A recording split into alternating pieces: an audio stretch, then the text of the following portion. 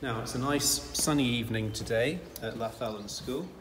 So it's, it's a walk that many of you will will remember after maybe you've had supper over here at the castle or perhaps you're just walking back to do your prep over in the junior school or prep school as it once was.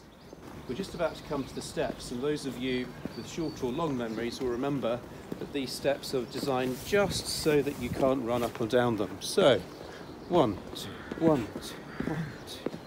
Bit of a bit of a track, but we'll get there. And we're almost there. And we're back onto the flat. So we're almost at object number three. Some of you may well remember going over to the other side. And this is halfway to the other side. We're now at the bridge to the other side. Object number three.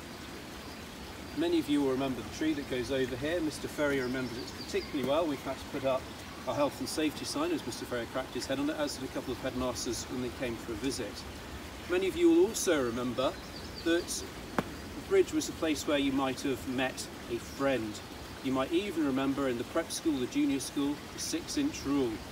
Social distancing was a thing even back in the 1980s.